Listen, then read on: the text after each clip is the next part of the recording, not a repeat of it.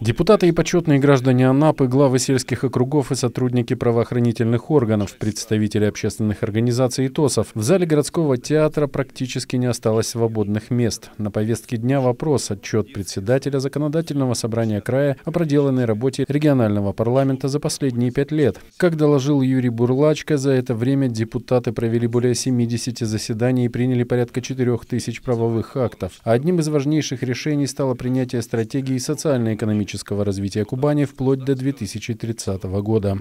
Искренне считаю, что нашему с вами городу очень повезло. Юрий Александрович наш надежный друг и очень частый э, гость на нашей Анапской земле, причем не гость, а наш с вами родной земляк. Столько, сколько Юрий Александрович сделал за пять лет при своем личном участии, при поддержке всего законодательного собрания, он прекрасно знает все наши э, достижения, наши проблемы, сильные, слабые стороны. И, конечно, и вся Большая Напа, и все мы, ее жители, постоянно ощущаем очень мощную поддержку со стороны всего ЗСК и его руководителей.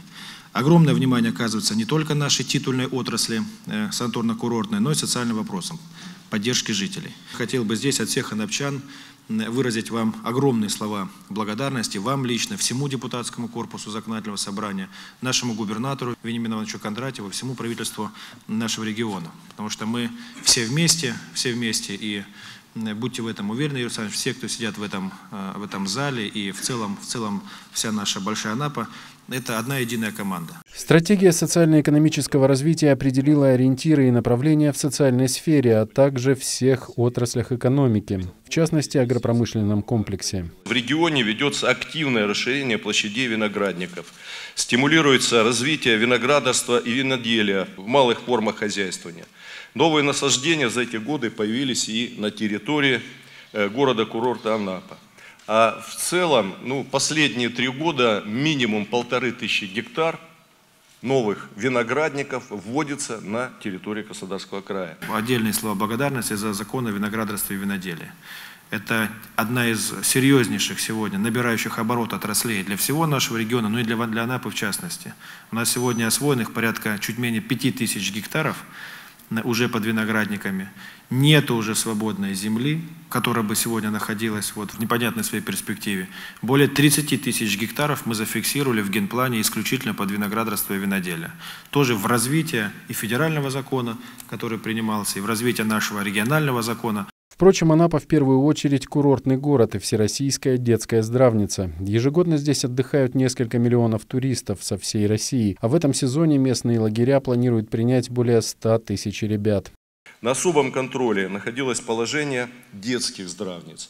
В этой связи в апреле был принят закон о продлении действия пониженной ставки по налогу на имущество организации. Это позволит нам поддерживать отрасль, которая по своей специфике обладает относительно невысокой доходностью, но большой социальной значимостью.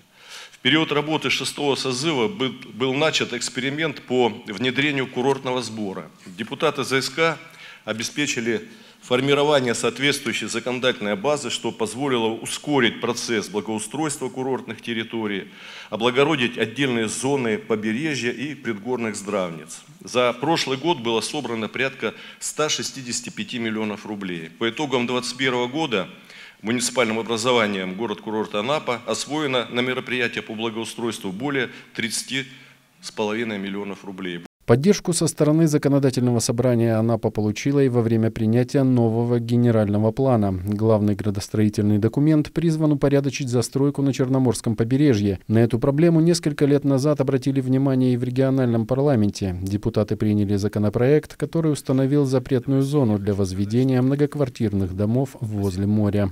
500 метров. Это была жесткая принципиальная позиция Юрия Саныча, губернатора нашего Вениамина Ивановича Кондратьева, как раз таки исключительно нацеленная на то, чтобы дать возможность нашим курортам э, сохраниться и в будущем развиваться. Поэтому запрет э, любого многоквартирного строительства в этой 500-метровой зоне, мы его максимально сегодня тоже отстаиваем здесь, Юрий Александрович, и в генплане мы внесли соответствующие, э, соответствующие границы и удаленность на эту, эту 500-метровую зону.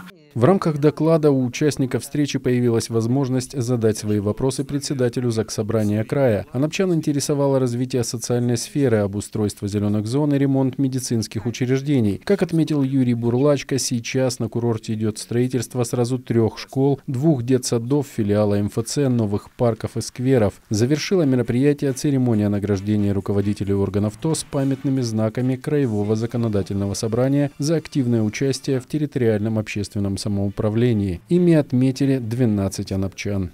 Никита Бойко, Ксения Сипко, Михаил Григорьев, Анап регион.